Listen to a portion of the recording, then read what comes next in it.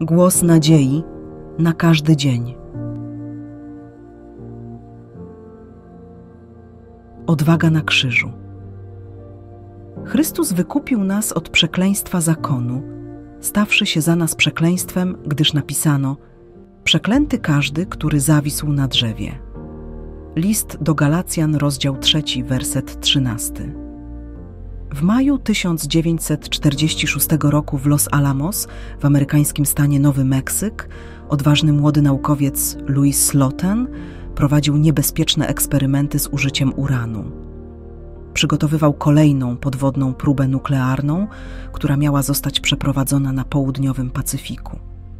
Slotin musiał określić dokładną masę U-235, konieczną do zainicjowania reakcji łańcuchowej.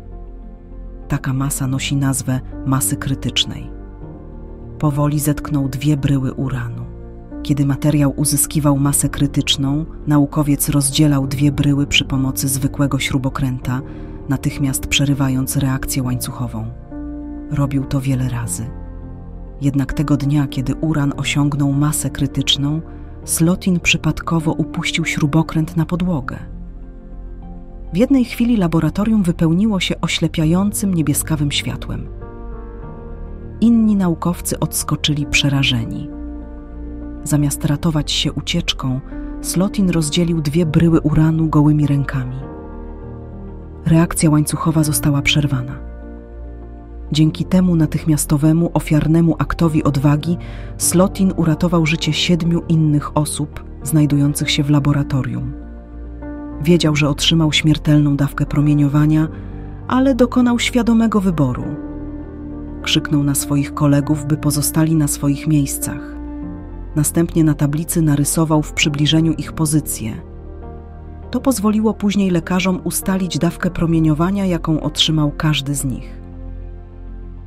Kilka minut później Slotin wraz z kolegami czekał przy drodze na samochód, który miał ich zabrać do szpitala. Spokojnie zapewniał swoich współpracowników: Wyjdziecie z tego bez szwanku, ale ja nie mam szans. Niestety miał rację. Dziewięć dni później umarł w męczarniach. Jezus Chrystus przyjął na siebie całe niszczące promieniowanie grzechu. Gołymi rękami rozbroił krytyczną masę grzechów ludzkości. Doświadczył na sobie całej potworności, ohydy i przekleństwa grzechu kiedy bezmyślni kapłani szydzili, innych ratował, a siebie samego ratować nie może. Nie zdawali sobie sprawy, jak wielką wypowiedzieli prawdę.